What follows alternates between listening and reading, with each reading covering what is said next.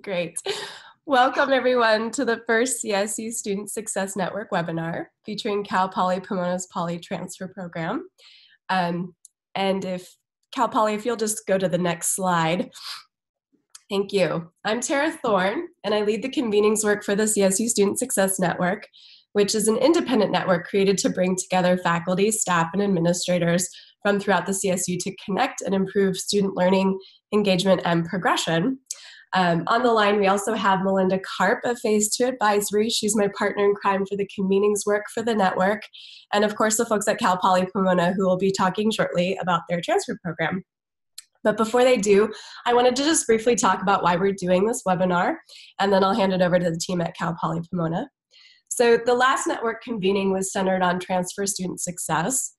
And we asked participants at the event to provide us some feedback about how they wanted to continue to engage with the network and in what ways we could help further their work on transfer. We also asked whether there were specific campuses that teams wanted to hear more from. And what we learned is that there was really a strong appetite from teams to continue to be able to engage with each other around the programs and practices happening in the CSU that support transfer student success. And of the 14 campuses that we had attending that convening, 12 said that they wanted to hear more from Cal Poly Pomona about what they're doing to, to support their transfer students. And thus, the idea for this webinar was born. Our hope is that it will extend the learning that began at the convening and it will provide a space to continue sharing and engaging around transfer student success in the CSU. Um, so if you have any questions that arise during the presentation, we're going to go ahead and use the chat feature for that. So please feel free to type them in there. Melinda will be curating questions um, as the presentation continues, and we'll address them at the end. I also want to just briefly mention that we're recording the webinar. So if you had colleagues that were unable to attend but were still interested, it will be made available on our website. Um, so without further ado, let's turn it over to Doctors Terri Gomez and Lorena Marquez, who are going to share more about how Cal Poly Pomona supports transfer student success with their Poly Transfer program. Thank you so much, and thank you all for joining us today.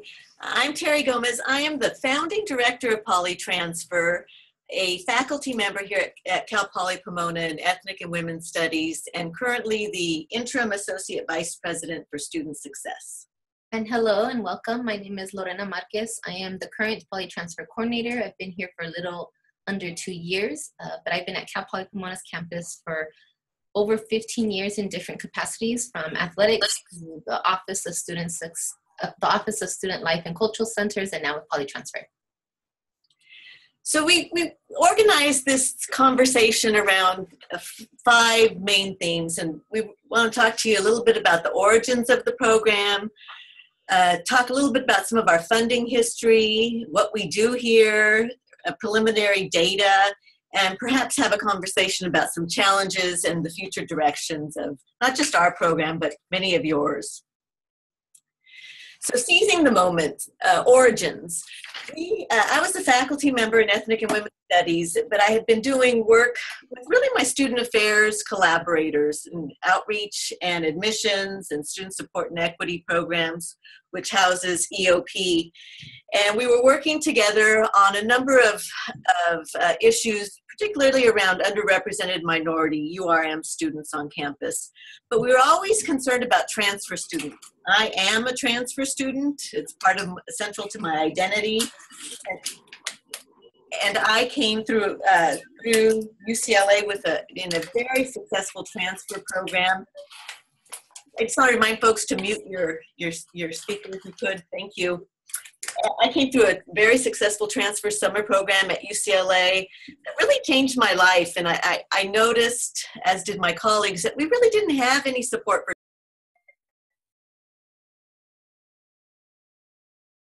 transfer class. Uh, about the same time, we were starting to see the development of uh, associate degrees for transfer, which is a really important development for our work. And uh, my colleagues in admissions and student support and equity programs offered to, happen?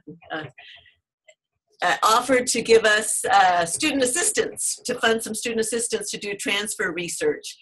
and uh, we we ended up applying for a grant and we got it and that was a little troubling because i had never run a grant but uh, we needed to find space and staff and so we relied on our our college my dean in the college of education and integrative studies provided us with a, a, a space to to develop our program and we hired staff uh, getting campus buy-in was both easy and difficult, uh, and and we've worked really hard to do it. And we'll talk a little bit about that as we proceed.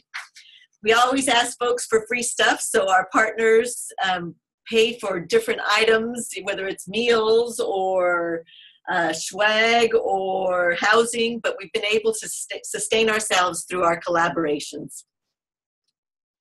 So a little bit about our funding history. In 2013, uh, we seized upon the CSU Academic and Student Success Programs RFP, and it was just about the time I had my transfer research assistant. So um, we just happened to have transfer research available, and we proposed a program which was a collaboration with Student Affairs. And lo and behold, we got an $80,000 grant, which isn't much, but it's permanent baseline allocation, which is wonderful. In 2015, we also secured a campus grant and this was really uh, focused on our peer mentoring program. We, we knew that this was really important to develop, and, and so we were able to use this funding over a couple of years. More recently, we've been able to access CSU student success monies for a pipeline uh, project that we're doing with our K 12 partners. And then last year, we were invited to be part of a NSF STEM Cubed grant, which was a collaboration between Citrus and Cal State Fullerton. And we were invited to join in on that grant. And then, gosh, a month ago, we found out that the Crankstart Foundation had uh, provided um, uh, uh, funding for, sorry, our, our, our, PowerPoint's going crazy, for uh, transfer scholarships. So we're just about to award our first uh, 15 transfer scholarships this year. okay. So to talk about our mission, uh, truly our uh, mission of Poly Transfer is to assist new transfer students in their transition to Cal Poly Pomona as well as work with all transfer students to create a transfer receptive culture. And that is done truly by creating opportunities for students to be engaged through academic or social activities. Um, and that looks like in the form of workshops, uh, working with campus partners, uh, and really taking advantage of all that they have to offer. Um, some of the uh, some of the, the information that we provide is the one-on-one personalized problem solving. And so myself and the student success specialist which is uh, through the grant uh, are able to provide one-on-one coaching and mentorship in terms of making sure that they're the transfer students are able to uh, get guidance and navigate the campus. Uh, we recognize that uh, we, we want to debunk the, the stereotype of transfer students already have been at a college campus and therefore they know how to navigate the campus, uh, but they're coming to us in a new form. They're coming to a new campus and we want to recognize that. And so we provide as much as we can to make sure that the transition is smooth as possible. Um, as well as part of our quarterly workshops is to focus on the academic, professional, and per- per- personal growth of our transfer students. And that isn't done just by ourselves, but it's really done with the partnership of many CPP departments on our campus. And uh, we'll talk more about that in a little bit. So there are really three pillars to polytransfer. The first is a series of transfer high impact practices that we, we believe are particularly successful for underrepresented students. Uh, and the second pillar is building a transfer receptive culture. This is particularly important because we often put the onus on community college, uh, community college partners and uh, we don't take at the CSU and four-year institutions, we don't take institutional responsibility for the way that we're receiving transfer students. So this has been a, a, a primary focus of our work. And then finally, the third pillar is really strengthening these transfer pathways, certainly with community colleges, but as we've evolved, we've also realized the importance of working with our K-12 partners. And we wanted to provide uh, you all with a visual in terms of the work that we do and all those that are involved. We are out of the Office of Student Success, but as you can see, the core is the is our transfer students, and so we work to make sure that we're addressing the needs of our transfer students. Um, and through that, we have transfer students who are peer mentors uh, that work in the Poly Transfer office, as well as student success ambassadors. And student success ambassadors help with the day to day, the office logistics, um, while the peer mentors work with uh, creating relationships and mentorship opportunities with not only our summer cohort participants, but as well as expansion to all transfers. Um, circling that is myself, the coordinator, uh, the student success specialist, which is, like I said, grant funded and then we have a volunteer graduate intern from a local graduate program uh, nearby who assist us with the office work and just uh, all the behind the scenes work that happens. Um, but as we've mentioned, we mentioned, and we will mention over and over again, it's really through the campus partnerships on our campus where we're able to really develop uh, transfer student success initiatives um, and just work in partnership with whatever is going on and what is being offered through our campus partners. And um, through the Office of Student Success, as Dr. Gomez has mentioned, a newly, new area which really is focusing on student success, but because of what Polytransfer does, uh, it's really great to be able to be under those initiatives. So when I came to the Office of Student Success, we also bought, brought Polytransfer here so we continue to have close uh, connections and partnerships. So a little bit about our transfer HIPs for, we're a first year experience program and we begin with the summer transition. And we would love to be a five or six week uh, how, uh, residential program, but frankly, we just don't have the funding. So we, we have settled for a three day uh, uh summer program. And we've been pretty successful. So, what we really try to do there is target our URMs. Um, the heart and soul of our program is the peer mentoring and uh, more recently, we have a transfer student, stu- excuse me, transfer student society. This happens to be a picture of the transfer student society with our president in the middle at uh, a tailgate last week, and uh, they certainly are an enthusiastic group. Our summer program. So we target URMs, and the way that we do this is through our partnership with admissions. The moment students have accepted their offer, we get the lists uh, and the contact information from, from admissions, and we start reaching out to those students and inviting them to be part of our program. We also do this at orientation, but these, this collaboration with admissions allows us to get to these transfer students the minute that they've committed to Cal Poly. Another important element of the summer program is exposing transfer students to undergraduate research opportunities and graduate school. And we know the importance of this for transfer students. When you're freshmen, you have plenty of time to find out about research opportunities and uh, and, and transfer students don't have that luxury. So we needed to make sure that we brought that information to transfer students one of the things that we've been able to do in collaboration with the Office of Undergraduate Research and the McNair program is to actually develop a transfer McNair program for these students. And so they're introduced to these opportunities when they get here. They also see students quite like themselves on this graduate student panel, transfer students who are now in graduate school, and they can ask them questions about their experience and about programs, and they can begin to already think about what those next steps will be. And in working with admissions, um, we, we work in terms of making sure that we are targeting the URM, uh, but then as well as making sure that we connect with the transfer student by giving them a phone call, uh, sending, them, sending them an email, asking for their personal email as well as their new CPP email. Uh, so that's part of the transition in terms of them then being a part of Cal Poly Pomona's uh, campus. Um, and some of the other things that we also offer in the summer program is the academic lectures. And those are important components for them to start seeing themselves in the classroom here at Cal Poly Pomona. And we know that the importance of, uh, of our students to be able to engage with faculty. And so we have faculty that are able to create opportunities and, and connections and relationships so that they can begin to establish those uh, early on in the summer.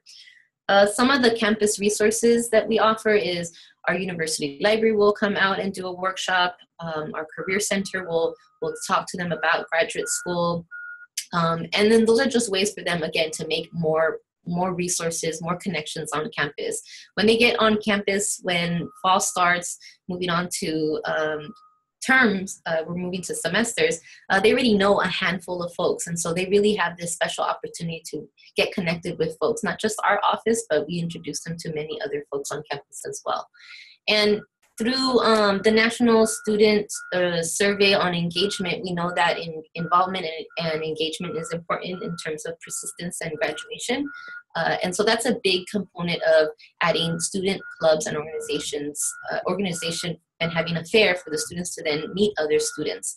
Um, and we do ask the club members to, to send over transfers so that they can begin to share the story. And so not only do they see their peer mentor, but they, they begin to see other transfer students who have been successful and really looking at the strengths and the assets that they have and that they're bringing to, um, to Cal Poly Pomona. Uh, lastly, our transfer and graduation advisors, uh, this is really important in terms of just making sure that they know the people that are going to make sure to see them be successful through the way of their transfer uh, credit report. And so being able to understand where they're at with their transfer credit report uh, early on is important so that they're not taking classes that already meet um, the requirements of, of that, of that uh, TCR. We average between 100 and 150 students in our summer program, and then we track them throughout the year and we involve them in other opportunities.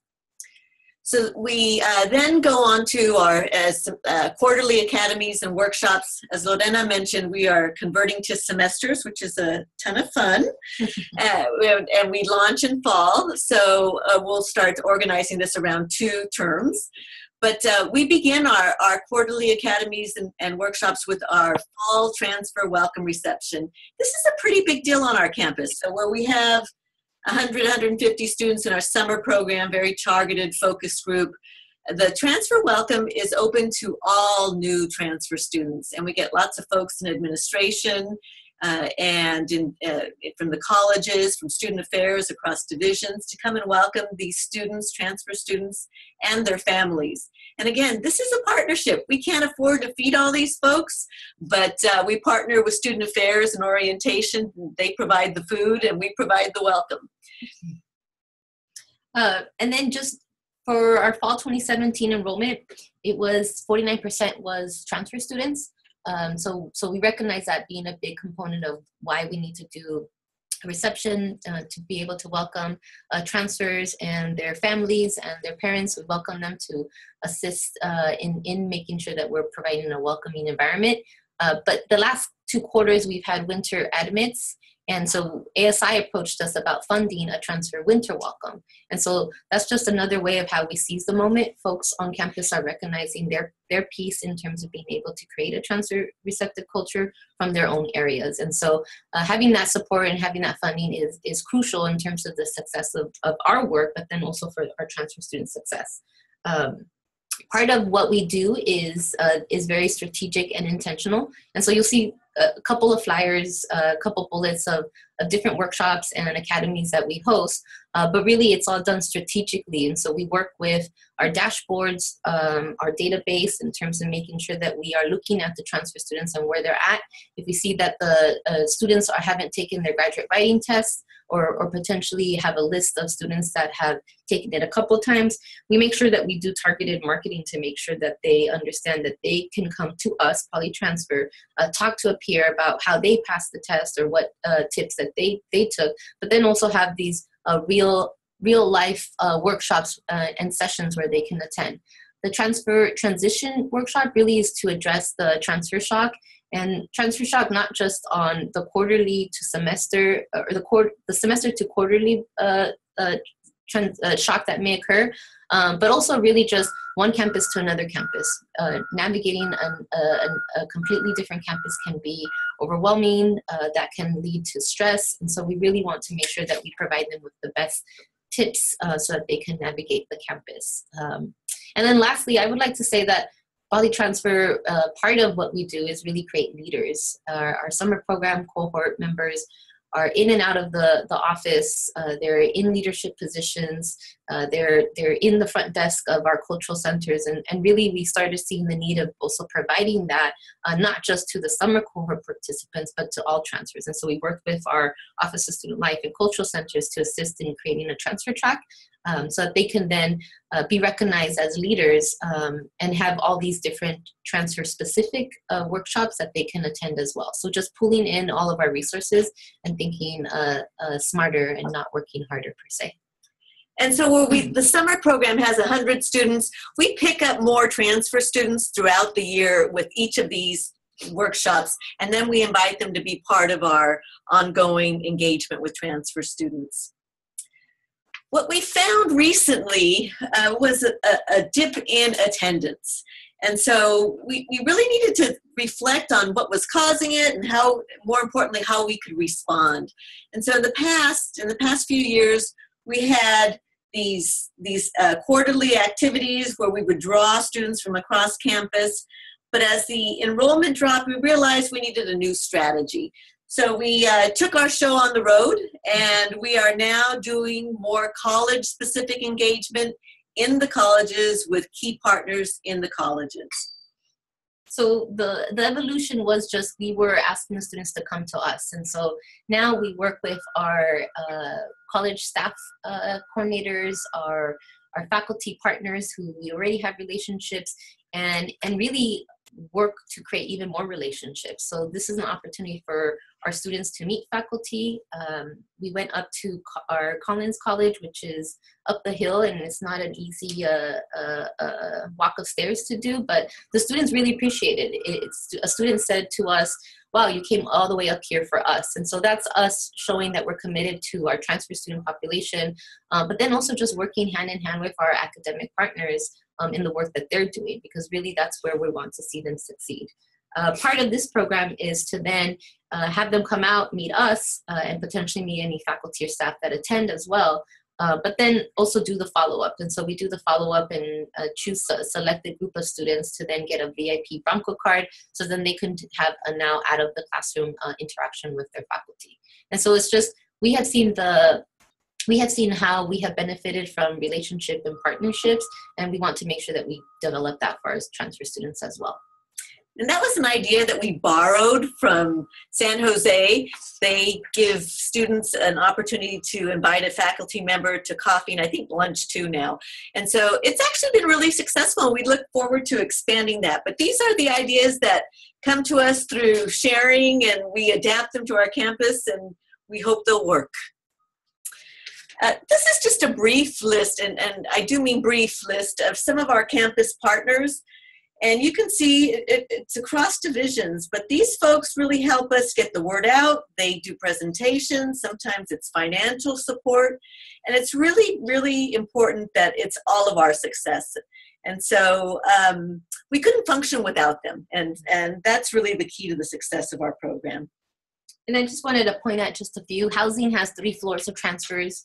Uh, athletics have transfer students uh, that they that they, uh, they recruit from um, community colleges. Uh, currently, right now, uh, our students uh, success specialist is at a at a advancement uh, workshop in terms of the campaign that we'll be pushing to fundraise monies, and so really, it is about cross-divisional university-wide partnerships um, and efforts in order to to be supportive of our transfer students um, and i think that that's that speaks volumes in terms of just the work that we're doing um, but also just if you see this list, like Dr. Gomez is saying, it, this is just a, a, glimpse of who we talk to, who we work with, um, and it does take work. Uh, but I think in terms of what we have seen, we have seen we've seen a lot of uh, a benefit in terms of making sure that the students are accessing all these folks. Project Success is our new male uh, men of color initiative, and Lorena has been working really closely with them so that they also target transfer students. And she certainly mentioned housing, which has a, a transfer floor. These are really important developments on our campus, and we're able to play a small role in collaborating with these folks. I guess the last thing I would say is, um, you know, this list, think about I'm sure two or three areas that you have in your uh, campus where you can start making those connections. Because, like we said, for 49%, the trend of transfer students at our campus, um, I imagine it's the same as at yours. The second pillar of poly transfer is really a difficult one for us, and it's to build a transfer receptive culture. Uh, central to this concept of TRC, transfer receptive culture, is the belief that students will be successful because they are transfer students. And this is in opposition to the belief that they are successful despite being a transfer student. And this comes out of the work at, from folks at UCLA who really been pioneers in developing this transfer receptive culture uh, scholarship. And what we found is that our campus is similar to other campuses in that there are plenty of stereotypes about transfer students, so that you know we've had to work really hard to try to debunk some of these myths. And we've done it in a variety of ways. We began with a We Heart Transfer Students campaign, which was really placards that had here you see two, the version 2.0 which is the t-shirts but the first version was was really just the placards that staff and faculty would put uh, outside their doors so that transfer students saw the reflection they would know that when they arrived at that door they had an ally that they could turn to simple things, small things, inexpensive things that have an impact on our students. These t shirts are now worn across campus too, and that's really important so that folks know that they belong here. And we work really hard to foster these connections. But it's it's a lot. It, it, it takes a deep commitment from the campus, and you know, we often put the onus on the on the community colleges, but this is our attempt to own our our responsibility in creating this transfer receptive culture on this campus. Another part of our, our program is a transfer symposium that we hold each year in the spring. And we're able to bring national leaders around transfer scholarship and work, um, practitioners to come and talk to not just our campus and campus leaders, but also we invite community college leaders and uh, K 12 partners to come be a part of the conversation. And that's really important to continue to hear about current research and practices that are impacting uh, this important segment of our population. We have an I Am First campaign here that's been very successful. So if you come to our campus, you'll see a number of uh, posters, I Am First, first generation faculty and staff and they also tell their story through a, a, through video as well. We are taking this and creating a, a, a, version that's the transfer edition, and so you know we're we're making sure to include transfer voices there, and uh, we're going to launch that this year. But we're also going to build peer mentoring around those I Am First campaigns. And then finally, in terms of building a transfer re- receptive culture, we really have had to take a deep look into um, transfer visibility, not just on campus, but wherever students are at. And one way to do transfer visibility is also to think about um, beyond what we do in real life. So IRL is stands for in real life, um, but making sure that we also have an online presence. And so the digital student is with us, and we need to make sure that we're we're there as well. And so this last summer, uh, through all the orientation presentations that our peer mentors were doing, uh, they were telling or they were telling they were telling transfer students to make sure to follow us, whether it be on Instagram, Twitter, or Facebook. Uh, we do not have Snapchat yet, um, but it was a, a, a huge component of making sure that the students knew that if they couldn't come to an event because of timing or whatnot, that they can still get engaged and involved. And so that helps to build an online campus community for transfer students. And as you see, we have a, a picture of our Instagram and our Twitter. Uh, and folks all over campus in terms of our partners, the university obviously uh, helping us in terms of getting the message out and making sure that our reach is, is far. Uh, but this is just one way in terms of the visibility. Like we talked of campus partners, that's how we create transfer receptive culture. Um, our first year experience, high impact practices, those are just different forms of how we're trying to develop a transfer receptive culture on campus. Our third pillar of the program is really strengthening the transfer pathways. And we do this through a, a number of avenues certainly collaborating with our community colleges is critical and we do this through our outreach folks. We started with our three uh, primary feeder schools and then we spread out to the five biggest feeders and we're continuing to do this work. We mentioned the stem cube grant earlier. This actually emerged out of our partnership with citrus and frankly our, our good relationship with cal state fullerton. And so those opportunities have been really wonderful. Um, we recently expanded to the K 12 pipeline, and to the right, you see a picture of a number of fifth graders who were just on our campus wearing a I am a future Bronco t-shirt with our you can't see it but there's a poly transfer logo in the in the O of the Bronco. And uh, that program emerged out of the White House initiative on Latino excellence in higher ed it was we submitted a, a, proposal during the Obama administration that was recognized and supported by our campus and also with, by uh, with Pomona Unified and it's an attempt to really begin to create these pipelines that will probably involve community college, but may also be directly into a, a four-year institution.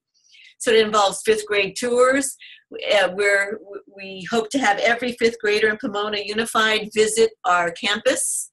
And Pomona Unified is also sending all sixth graders to uh, Mount SAC, our local community college. And so they're making sure that they have several touch points with our college partners. And then we're about to uh, launch our, our middle school peer mentoring program. Given our limited funding, we're not able to staff uh, a lot of these programs, so we have to be creative. And so we can work with our Office of uh, our Center for Community Engagement and, and Service Learning programs and offices to provide opportunities for our students to be peer mentors in the middle school. And a part of that K 12 partnership uh, has been parent engagement. This is actually connected to Lorena's expertise. She recently completed her, her doctorate around parent engagement. And so we've included, her, included that as part of what we do as well. And this has been a wonderful surprise, frankly. Um, we started working with the parents as part of our partnership, but then they wanted more. And so they wanted us to uh, help them uh, with some of their conferences. So at first we would come and do presentations. And then more recently, they they organized a parent conference where they were uh, they were wanting us to train the trainers, so to train parents to give presentations to other parents. And so those parents came to campus and they wanted to meet with the Disability Resource Center, admissions, outreach, key financial aid, key partners on campus so that they could get the information and then they presented it to parents. It was highly successful. And uh, this weekend we have homecoming and we now have homecoming family day. So we have we're expecting about 200 parents and students from Pomona Unified who are going to join us as part of our homecoming event that's grown out of the collaboration with Polytransfer. So the data, is it working? Uh, the short answer is we think so.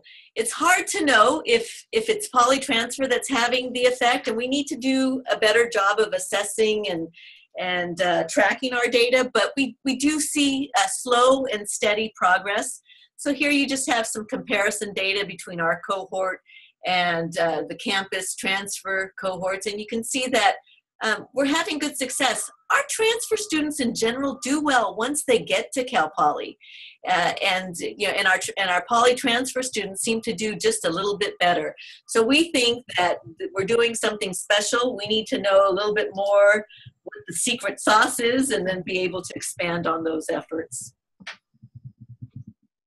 But there is challenges as we move towards the future. Um, the transfer student voice is really an important aspect of the beginnings of polytransfer and really the conveying that we had at Long Beach helped us to develop uh, the, the Transfer Advocates Group uh, Council, so we like to call it TAG, and just the folks that attended that uh, started to, to talk and, and really listen as well in terms of what you all were sharing uh, and what was what was being done, what isn't being done, and how do we really close the loop. And so we're closing the loop by looking at assessment, uh, but also being very intentional about uh, what kind of assessment and what we're going to do with the assessment. So keeping ourselves accountable to make sure that uh, the work is being done.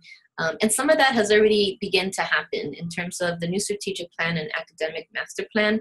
Uh, our vice president of student affairs and our provost had uh, three focus groups, and one of them was transfer students last year. And through that focus group, uh, the students were sharing that our poly transfer office, uh, you'll see at the top picture, is small but mighty, as, as we like to say. Uh, but they did talk about a lot about the space, and so they were listened to. And now we're looking at the new building, which is the second picture below, and we're going to have a, a, place there. And so that's really going to help us have um, more of a, a presence, I, I, believe, in terms of just where where transfer student voices are at, but still doing the work in terms of what are the students in, what are the students need and what services we can provide. And like many of your campuses, you're either getting new presidents or you're about, uh, or you just you just got a new president and that means new administration and that often means new strategic plans or master plans. Those are wonderful opportunities to include a transfer voice. And so we have been very intentional about being at the table and making sure to ask how is this impacting transfer students? And uh, it's not always an easy conversation but it's an important one. Um, we really would love to expand our FYE experience. And we know the importance of FYE programs for our freshmen, and we'd like to do more with transfers. And one of the ways that we'd like to do that is to have a course, not just a three day uh, program, but an actual transfer course. And that's a hard sell for transfer students because, as you know, transfer students come in with more credits than they need, and the last thing they need to take is a course that doesn't count for anything. So one of the things that we proposed, and we wrote a, uh, what we thought was a really innovative grant. It didn't get funded, but we still have the idea. Was uh, to to offer a GE synthesis course. It's actually a film course, but it it was a way of documenting transfer student experiences. We still think it's a great idea once we get settled into semesters, we're probably going to loop back and try it, do a pilot of that. But uh, we want to just continue to find ways of including transfers in the curriculum and making sure that we're engaging them. And then finally, expanding funding to build capacity. We're always trying to find new partners, new grant opportunities. Um, and grants with community colleges are really important to our success, and we suspect to yours as well. And uh, the Department, uh, California Department of Finance is about to release its Innovations Grant RFP. And we're told that that RFP will actually require that a community college be the lead on that grant. This is a great opportunity for folks to look to your community, local community colleges and say, how can we partner? How can we be a part of this opportunity? Uh, regional collaboration. So there was a, a, a, phase in funding where systems were, were, were being were, uh, were targeted for grants, and now we're told that there's been a, a, more of a shift to regional collaborations. These are really important, and we see them throughout throughout California. So, for instance, for us, we're part of the LA Compact, which includes uh, what we call the CSU 5, uh, Northridge, Los Angeles, Dominguez Hills, certainly us, and Long Beach. And we're proposing we're, uh, a, a, couple of different uh, grants and, we're, and working with funders to fund some transfer specific work, some promise work, and some K 12 pipeline work around these regional collaborations. Again, you kind of just have to figure out what the trends are and then figure out who your partners are and, and take some risks. Uh, for us, staying focused on our mission has uh, frankly been a challenge sometimes. And even this shiny new building you see to the right here on, in this picture, we're really excited about that. But we also want to make sure we don't lose our focus on our mission, which was initially to serve underrepresented transfer students. And so we want to make sure that we continue to target our underserved populations while also trying to meet the needs of a broader transfer population. And then GI 2025, Graduation Initiative. What an incredible opportunity for us. And I say that because this is really the first graduation initiative in the CSU that has an intentional focus on transfer students. And uh, with that intentional focus, focus also comes funding to your campuses. So um, it's a great opportunity to meet with your leaders and to ask about some of those one-time funds to get some pilots going or some of that permanent allocations that are coming as a result of GI 2025. You're being asked to um, to really increase your transfer graduation rates for both two and four years four year uh, transfer students, and there needs to be some funding behind those efforts. So again, seize the moment. And we recognize that many others have have and are doing the work with transfer student success. And so we wanted to highlight a few folks and just historically in terms of what we have uh, looked upon UCLA in terms of the uh, partnerships and the research that existed in the history, but also just others that are doing the work. And we recognize that we're not the only ones um, doing transfer student success work. Um, but but truly, in, in terms of being able to create a transfer receptive culture here at Cal Poly Pomona, uh, we want to make sure that everyone else is also doing their part so then the CSU itself can also work towards making sure that they're creating a transfer receptive culture across the, the state. And that's our presentation. So we'd love to have a conversation with you. Uh, thank you all. This is Melinda Karp, um, and I cannot thank you all enough for this. This was so useful. Um, I'm going to assume people can hear me unless someone chats otherwise. These yes. technologies make me nervous. Um, we have a bunch of questions in, in the text box, and I'm just going to start at the beginning. Um, one of the questions is really just about a definitional question. You, you spoke a little bit earlier, I think, in terms of the summer program around having students attend academic lectures. Um, it would be useful to, for us to know what that means. Is that you know professors or lectures about how to be successful? What do you mean by an academic lecture? Thanks for the question. We actually bring in faculty to do um, some mock lectures and then also just to provide, so we have a faculty member who does writing. Uh, she comes in and does a, a, writing lecture three times throughout each day for each, uh, in the program. And then she also creates a, um, a creative uh, final project for students. So it's really about documenting their voice, but also uh, helping them articulate um, uh, um, what the expectations will be, but but to get them to start thinking about what are the expectations for college. So we bring in faculty members who can work with students to both present research, but also to get them thinking about some of the skills that they're going to need. And I would say the academic lectures are, are focused on uh, building on their strengths and assets. And so uh, Dr. Kafai, she, she works with uh, the writing component, but it's very creative writing. Um, and she talks, she asks them to write their story. And so then later she get, they, students are able to share their story. Uh, another faculty member does social networking, so gets them to start thinking about who do they already have in their pockets per se uh, to be able to do the work that they need to do here at Cal Poly Pomona and also who do they need to meet and so putting it all into context in terms of assisting them to see the bridge of uh, what what Poly Transfer has to offer or what they have to offer as transfer students when they come to Cal Poly Pomona. Mm-hmm. That's really helpful. Thank you. It does beg a question that I had in my mind, which is there are so many things you could be doing, and you do do a ton. But how do you all choose which activities um, to focus your efforts on? Well, we have a couple of priorities, and one is that we want faculty engagement. We know that you know getting to know your campus is really important, but uh, perhaps even more important is finding a faculty member who you can connect with. And so we do this. Um, uh, you know, this is like a faculty um, uh, meet and greet, and uh, so we, we, we invite trans- faculty allies from all over campus, and we try to organize it around uh, uh, disciplines so that we have STEM and humanities, but we have, have students engage with speed rounds where they sit at a table with three or four different faculty from a discipline or a college and ask questions. So they're not just involved with faculty in their own discipline. And that's really important to us. So we want to make sure that they get faculty engagement.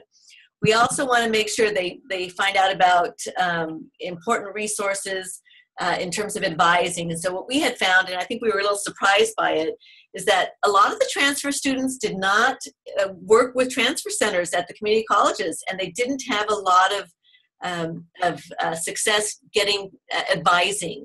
And so we want to make sure that they meet their advisors in their colleges and start to make those connections. So some of the, those are some of the things that we prioritize. Got it. Um, we have quite a few questions about the logistics, particularly in terms of the workshops and the and the coffees. In terms of you know how often um, are they mandatory? Um, how do you get faculty to show up? So, can you talk a little bit more about that piece of your work and some of the nitty gritty of, of how you pull it off? Yeah. Yeah, they are not mandatory, and that's been um, we're struggling with that. So for that cohort, the summer cohort, we're we're actually I think we're going to ask them to sign a contract, right? Uh, we don't want to be punitive, but we want to make sure that we're, we're connecting with them because we want to see the impact of the connection.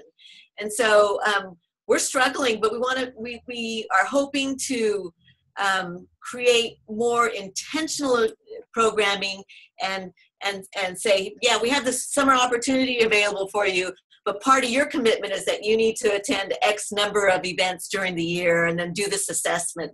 So that we want, you know, we, we need to be. That's one of the areas where we really need to improve. Yeah, I think part of uh, you know, it's like a double-edged sword. We do such a great job at summer program uh, that the students themselves uh, feel like they're ready, that they're set, and so we still we still email so the peer mentors uh, email them weekly um, and are expected to set up meetings with them quarterly so two meetings each quarter and they're given topics and they're trained and um, I mean, right now the huge thing is semester conversion and making sure the students understand that, how it's going to affect them. Uh, but it, it has been an area where it has been challenging. I think that is why the development of the partnerships has been uh, more on the high end in terms of making sure that we're reaching a lot of transfers. Uh, but but but part of that is just it just relationships. I mean, I meet with folks from all over campus uh, all the time, and I think that that is what helps folks see the message in terms of what we're trying to do, and also just uh, you know what what they can do to also better serve their transfer students. I was just at an athletics game last night. Um, and the the compliance officer wants us to do a presentation about polytransfer because I was looking at my notes and uh, they want to know more about what are the services that polytransfer has and how do we get the transfer students connected.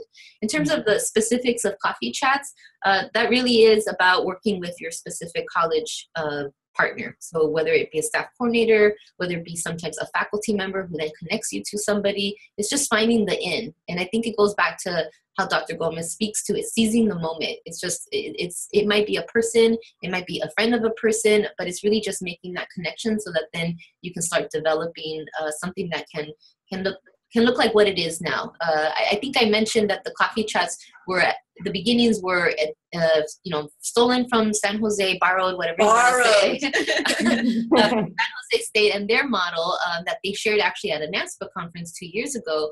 Um, and that was just kind of the rumblings of like okay how do we do this on our campus to build a community to kind of uh, assist students to meet other faculty and other staff other resources? And really it was um, it was just an evolution and we were just recognizing they weren't coming to us so we need to go to them. And i think that that's sometimes uh, something we don't think as programmers is we want them to come to a building. I mean, when I was a student, I went to offices and buildings, uh, but we have to be more creative. And so we started going to the university quad or right outside the building of the college um, and just working with folks in, in the college to assist with the actual marketing as well. And that has been that has been very successful, but it does take a lot of uh, a lot of connection, like true connection in terms of just seeing the work as as uh, as one. Mm-hmm. It sounds like you have to be out and about all over your campus. Yeah, and that's the only way to get things done, right? and that actually raises another question that came up at our convening, which is you're unique in that you have um, a physical space. To what extent is that helpful, um, particularly given that you just talked about how you have to go out to the students? Um, does that mean they're not finding you in your space? We have a small space. It's bigger than a closet, but we do have space for students, and they come. They, you know, they'll come and hang out there and do homework. But it is really a small space. And uh, while it's important, um, we couldn't expect them to come there all the time. There's just, mm-hmm. you know, we want to create a, a, place where they can come and get resources and then we send them out.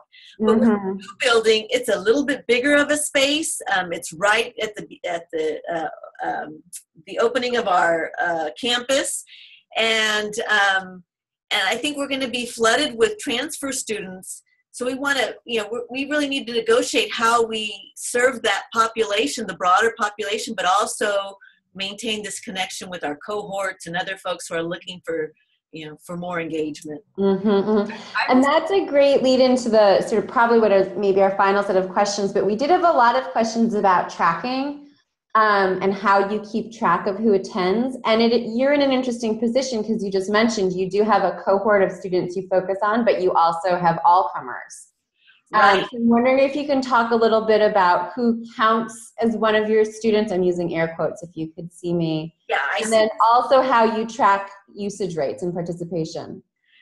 uh, with our summer cohort, we immediately put them into a, a, a, group. And so we're able to track them. And then for every event, they're doing card swipes or sign ins, preferably card swipes.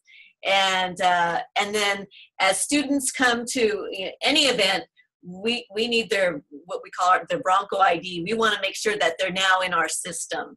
And so even the, the fall welcome, when we get a, a like several hundred students coming, and we're adding them now to our you know to our outreach efforts we have them sign in because we need to be able to track how many more events they come to and then you know, what we're hoping to do when uh, in our assessments our future assessments is to track well what happens to those you know what's the payoff for those students who came to the summer and what's the sweet spot how many events does it take to see a, a real payoff in, term of, in terms of persistence or graduation.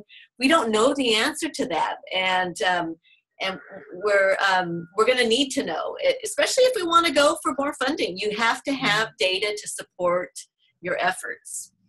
Right, right. Um, and, and so who do you partner with or how do you partner and who do you partner with in terms of special programs? And this speaks to data as well because they often are asked to hold on to their own students. But places like early outreach or trio um, who, are, who are the groups and, and, offices that you partner with and how? Uh, i mean for trio we work closely with our um, eop summer bridge program. And so we, we look at um, who is enrolling in terms of who's applying for the summer programs. And we want to make sure that our reach is is is is long and so we make sure that there isn't an overlap. And so we actually uh, connect with them but then also go to their summer so last year we went to their summer bridge program and did a presentation about poly transfer so part of that is that we recognize that we have a cohort group that we work with specifically but at the same time the charge is to work with all transfer students. Mm-hmm. when we talk about all transfer students it's not just first year transfer students, it's second year transfer, third year transfers. We're STEM, so there's more. There's folks that uh, that stay here more than um, two years. Um, so that's some of the work that we do in terms of uh, working with our partners. Um, what was the second part in terms of tracking? Yeah, I mean, I I'm a researcher, so I always wonder, you know, are you um, do they have tracking systems you can leverage? How are you working with IR? Um, those kinds of things because yeah, we did at questions on on tracking. Yeah, the IR folks have been really helpful.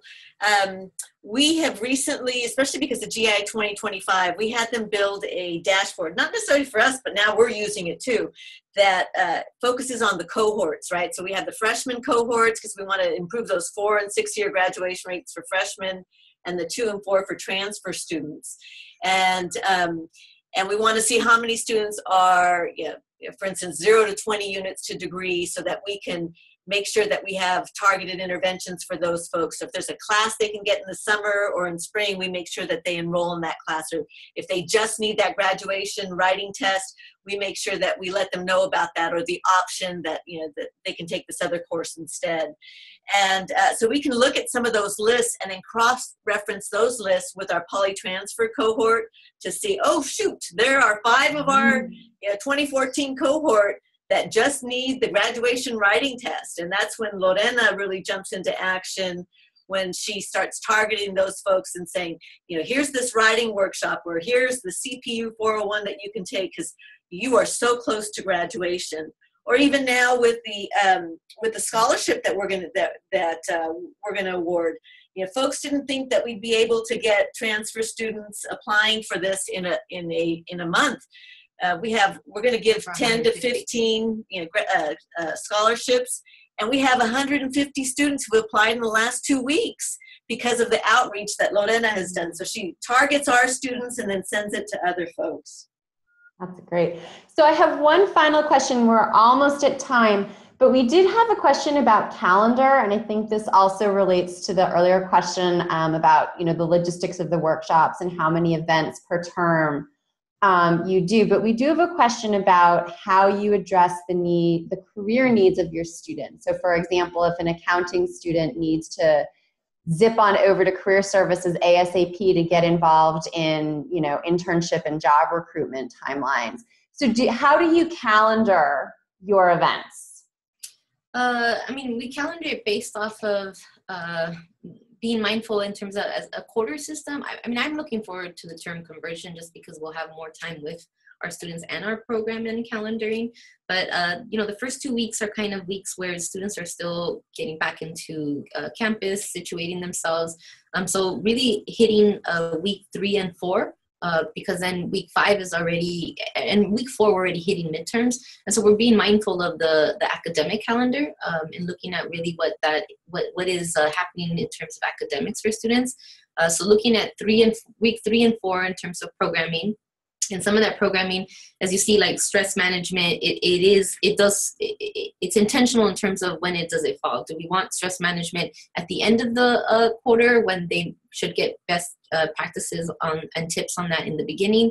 Um, or graduate writing tests we look at uh, the graduate writing test uh, dates and we actually will host it in partnership with uh, our learning resource center test center and our asian and pacific islander student center and and we'll do it the Tuesday before that Saturday because we know students uh, procrastinate. Uh, but they but we had a full house. I mean, we have full houses because students are are looking for that. And more recently, I mean, it's interesting when we talk about calendar calendaring. Um, students aren't on our schedule and students we, are at, students are now asking is there a podcast or is there a live feed because they mm. want that they're accessing these resources um, these workshops per se like I said, in a digital format. And so those are where we're, we'll move towards in terms of uh, evolution. Because if we are if we are being charged to do cohort work and then all transfer student work, um, one one class in the fall is over 3,500 students, and so that's only going to continue. Um, and our reach isn't uh, our capabilities right now in our office in terms of space and also uh, just the professional staff is isn't a, it, that's just we can't meet that. And so i think uh, those are some of the the questions that we'll need to also still still feel, figure out for ourselves. That's really helpful. Thank you. So we are just at time and i know tara wants to do a couple of final thoughts. So i do want to thank you all for your insight and your time and thank all the participants for their questions. Um, this has been really really informative at least for me. So Thank you again. Um, and Tara, you can finish us off. Sure. Yeah. Thank you from me also to everyone. I found this to be really rich. And so hopefully everybody who had a chance to join us today did as well. Um, I just wanted to do a quick shout out about our next convening, um, which is on April 13th, and it's going to be focused on first year student success. So if you haven't had a chance to register for that, um, do it quickly because our deadline is Friday. And go ahead and just email me. My email is up on the screen right now um, if you'd like more information and register. Um, and then other than that, I just another big thank you to Cal Poly Pomona for sharing their work around transfer student success with folks um, hopefully it was a positive experience for everyone. Thank you. Thank you so much. Have a good day.